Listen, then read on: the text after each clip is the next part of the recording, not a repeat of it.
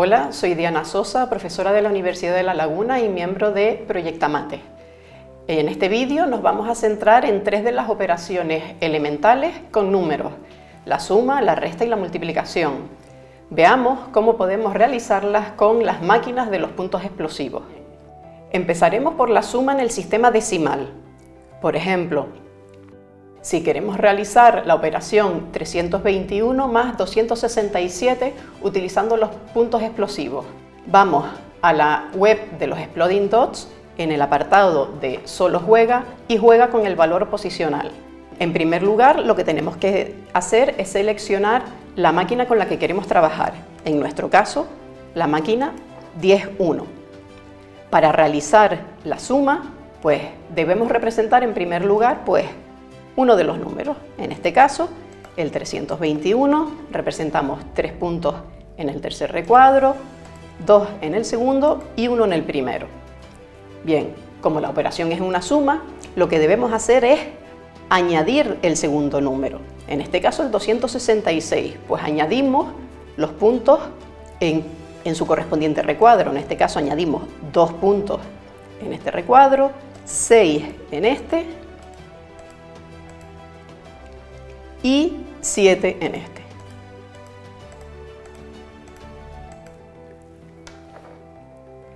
Y ahora simplemente tenemos que ver cuál es el resultado. Pues tal y como nos indica aquí la máquina, tenemos como resultado 588. Fácil, ¿no? Bueno, en este caso, si se han fijado, yo he ido añadiendo los puntos de izquierda a derecha. Lo podía haber hecho de derecha a izquierda siempre que lo haga con cada número en su correspondiente recuadro y en este caso pues no importa el orden. Usualmente en las operaciones, en los algoritmos tradicionales, eh, las operaciones siempre las realizamos de derecha a izquierda, ¿vale? Pero con esta herramienta nos es indiferente el orden. Bien, este ejemplo era muy sencillo. ¿Qué tal si lo intentamos ahora con una suma un poco más compleja? Bien, voy a borrar lo realizado, vuelvo a fijar la máquina 10.1 y ahora me planteo la eh, suma, pues 289 eh, más 456. Bien, hagamos el mismo procedimiento. Bien, representamos el primer número, 280 y 9.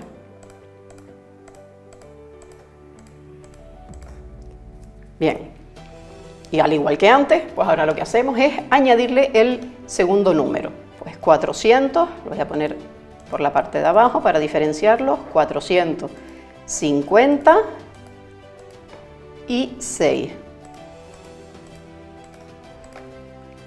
¿Has observado algo extraño? ¿Qué ha ocurrido con estos dos recuadros? Bien, se nos han vuelto inestables, ¿vale? Se, se nos han marcado de color naranja y además los puntos palpitan. ¿Por qué?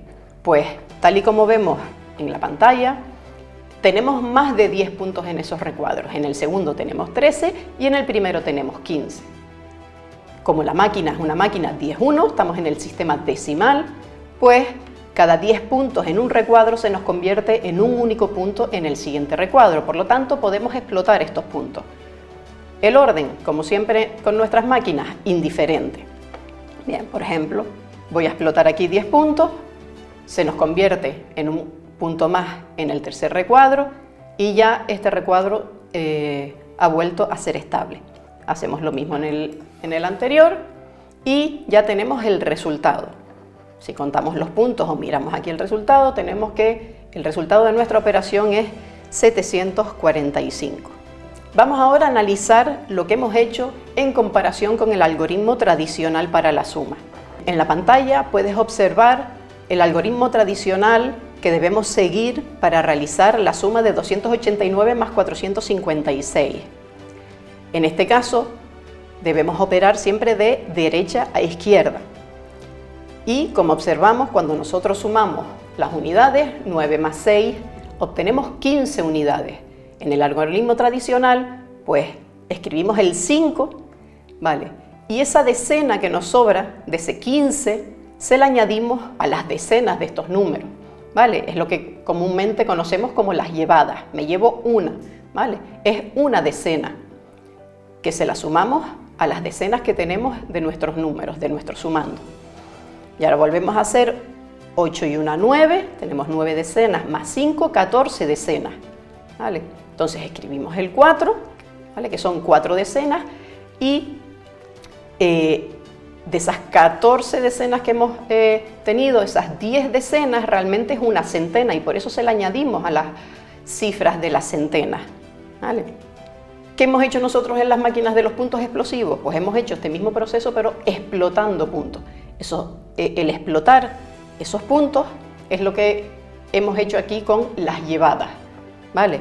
Que no es sino eh, eh, trabajar con el valor posicional de las cifras y la equivalencia entre ellas. Lo que con nuestras máquinas lo hemos hecho de una manera más intuitiva y gráfica. Vamos ahora a ver cómo realizar con nuestra herramienta eh, otra de las operaciones, la resta. En este caso, como primer ejemplo, nos vamos a centrar en la operación 473 menos 251. Para realizar esta resta con los puntos explosivos, iremos al apartado de la web en la que se indica solo juega. Aquí, solo juega pero en este caso nos vamos a ir al apartado de aniquila puntos con antipuntos, juega con sustracción. En este caso, si lo escribimos en la parte superior de la web directamente, se nos representa ¿vale? el minuendo 473, lo escribimos, ¿vale? menos 251, ¿vale? lo escribimos y le damos a la flecha y la máquina automáticamente nos representa el minuendo, que es el 473, con puntos en la parte superior de los recuadros. Fíjense que ahora todos los recuadros están divididos por esta línea discontinua en dos partes. En la parte superior, que nos, ha representado con puntos el minuendo, y en la parte inferior nos ha representado con estos puntos especiales que se llaman antipuntos, que lo que representan es el sustraendo. La resta lo que consiste es en eliminar, en quitar. Lo que tenemos que hacer es quitar 251 al 473. Bien, con los puntos ¿cómo lo vamos a realizar? Pues ir, vamos a ir cancelando puntos con antipuntos, ¿vale? Por cada antipunto que yo tenga que quitar, pues si yo lo arrastro, vemos cómo explota un punto con un antipunto. Y lo podemos hacer de las dos maneras, arrastrando los antipuntos a la parte de los puntos, vemos cómo explotan, o viceversa. Bueno, en este recuadro ya hemos explotado dos puntos, que era lo que podíamos al restar de los cuatro puntos que teníamos, dos antipuntos.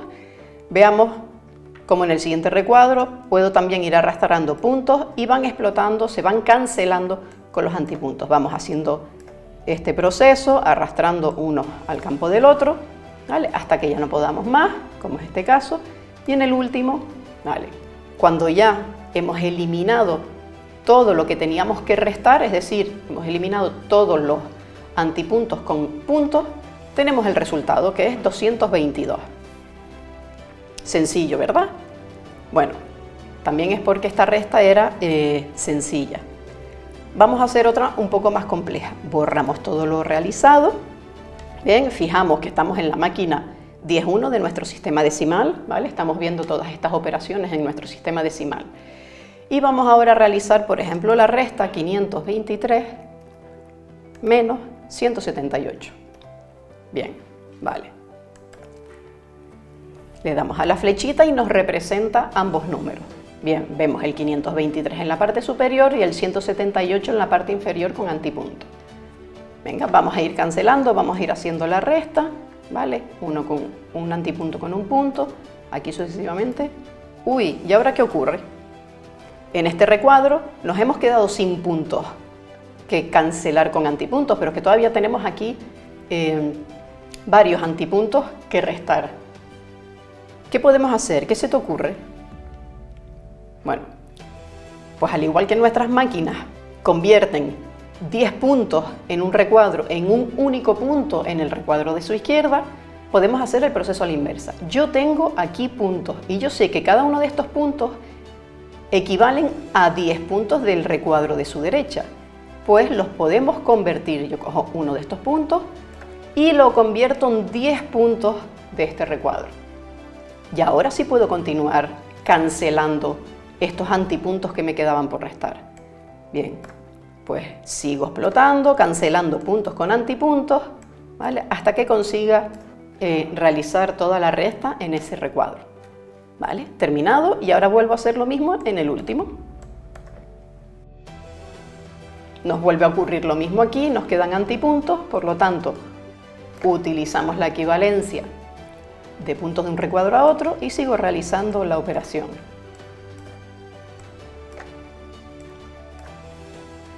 Ya hemos conseguido cancelar todos los antipuntos que teníamos y tenemos como resultado entonces el 345. Bien, si se fijan, yo este proceso lo he realizado en el orden en que yo he creído conveniente, pero lo podíamos hacer en cualquier orden, es indiferente. Reflexionemos ahora un momento sobre este proceso. Vamos a analizar cómo se realiza el algoritmo tradicional de la resta, ¿vale? y eh, vamos a relacionarlo con el proceso que hemos hecho con los puntos y antipuntos. En la pantalla pueden observar el, eh, el algoritmo tradicional para realizar esta resta que justo acabamos de, hacer. En este proceso, cuando no podemos restar, por ejemplo, aquí las unidades, tenemos 3 unidades menos 8, como no podemos realizar esa resta, lo que hacemos es justamente utilizar el valor posicional de las cifras y sus equivalencias, ¿vale? que es el proceso que comúnmente eh, llamamos pues llevadas o pedir prestado, ¿vale? Pero eh, eh, de manera exacta lo que se utiliza es ese valor posicional de las cifras y sus equivalencias.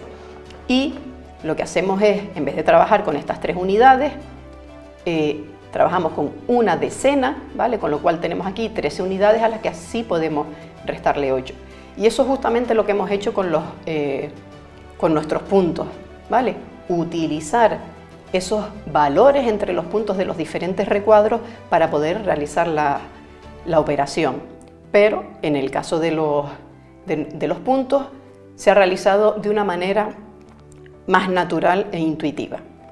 En la misma web en la que estábamos realizando la resta, pero un poco más abajo, ¿vale? en, esta, en este apartado, podemos introducir nosotros mismos eh, de manera autónoma la resta a realizar, ¿vale? Sin necesidad de que eh, la web nos lo haga. ¿Cómo lo vamos a hacer? Pues por ejemplo, vamos a, trabajar con el ejemplo 311 eh, menos 286. Veamos cómo resolver la resta 311 menos 283. Bien, para ello representamos con puntos en la parte superior de los recuadros el 311 Venga, 311. Bien, y ahora con antipuntos, ¿vale? En la parte inferior, pues representamos el 283. 283. Y seguimos el mismo proceso que antes. ¿vale? Vamos a ir cancelando cada punto con antipuntos.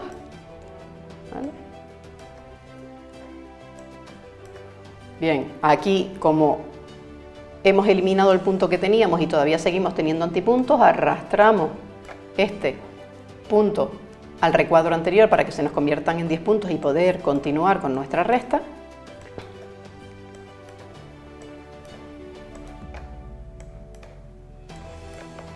Y aquí lo mismo, nos hemos quedado sin puntos, utilizamos la equivalencia y terminamos de realizar nuestra y como vemos, pues el resultado es 28. Veamos por último cómo realizar una multiplicación con la máquina 10, 1. Empecemos con un ejemplo sencillo, 321 por 2. Para ello volvemos al apartado de solo juega y juega con un valor posicional. ¿Qué hacemos? Pues en primer lugar representamos el número 321 en nuestra máquina pues tenemos 321. ¿Qué ha pasado? que no estamos en la máquina correcta. Queremos trabajar en la máquina 10.1. Recuerda siempre seleccionar exactamente en qué máquina quieres realizar tu operación. Bien, ¿qué operación queremos hacer? Pues multiplicar por 2 este número. Pues ¿qué hacemos? Duplicamos el número de puntos en cada uno de los recuadros. Si aquí tenemos 3, pues ponemos 6, aquí tenemos 2, ponemos 4 y aquí tenemos 1, ponemos 2. ¿Cuál es el resultado de nuestra multiplicación? Pues 642. Sencillo, ¿verdad? Venga, veamos eh, ahora otro ejemplo.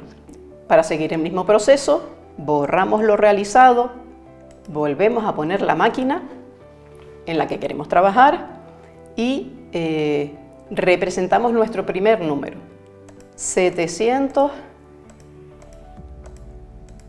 725.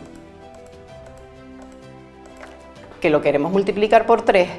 Venga, pues aquí tenemos que poner 3 veces el 7, ¿vale? Pues